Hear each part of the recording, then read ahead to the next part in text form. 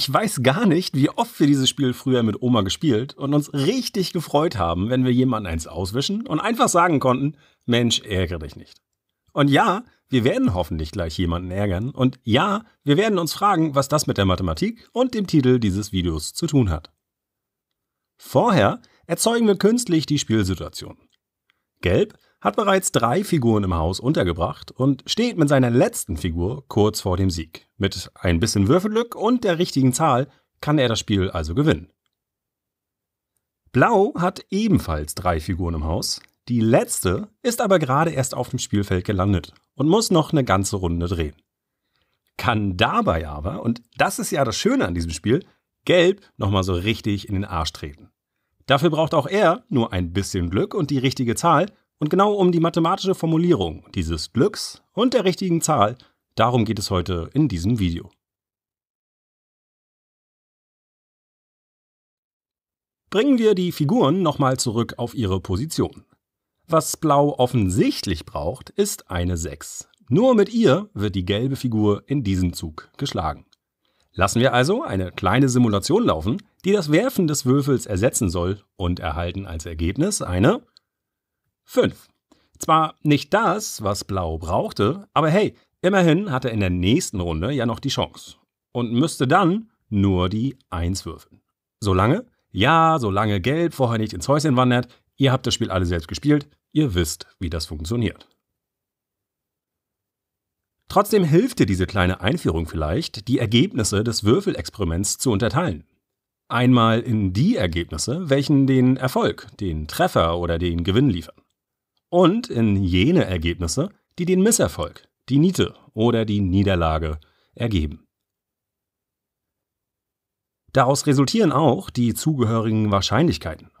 Für den Erfolg liegt sie bei einem Sechstel, mit nur einem von sechs möglichen Ergebnissen wird gelb geschlagen. Aber du hättest ja auch eine der anderen fünf Ergebnisse würfeln können. Die Wahrscheinlichkeit für den Misserfolg liegt daher bei fünf Sechstel. Diese Wahrscheinlichkeiten werden häufig, ach Quatsch, die werden eigentlich immer mit P und Q bezeichnet. Wobei man, ehrlich gesagt, auf das Q auch verzichten könnte. Erfolg oder Misserfolg, eins von beiden wird sicher eintreten. Beide müssen sich also zur Gesamtwahrscheinlichkeit 1 ergänzen.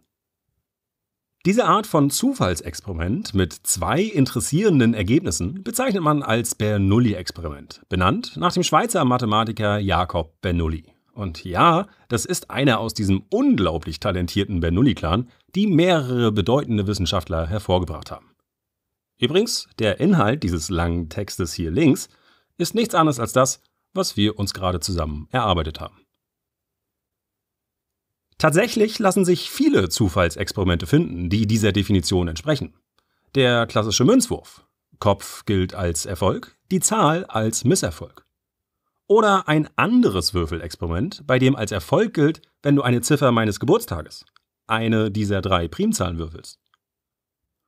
Oder aber du musst unbedingt eine schwarze Karte aus dem Kartendeck ziehen.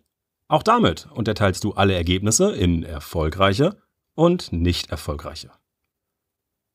Und bevor du jetzt wieder denkst, oh, lame Mathe, ja, aber diese Bernoulli-Experimente gibt's auch außerhalb der reinen Mathematik. Beispielsweise in der Liebe. Du hast dich endlich getraut und deinem Crush deine Gefühle gestanden. Aber natürlich weißt du vorher nicht genau, wie dein Crush darauf reagiert.